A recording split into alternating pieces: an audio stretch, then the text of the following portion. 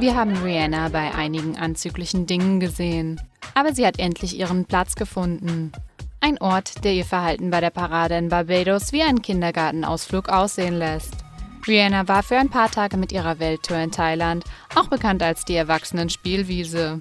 Sie ist angeblich zu mehreren Live-Sex-Shows gegangen und hat ihre Erlebnisse mit ihren über 31 Millionen Fans auf Twitter geteilt.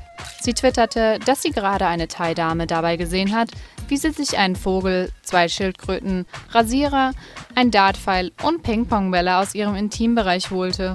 Dann schrieb Rihanna, dass die gleiche Dame mit dieser Methode Wasser zu Sprudel gemacht hat. Die Sängerin sagte, das Erlebte traumatisiert sie.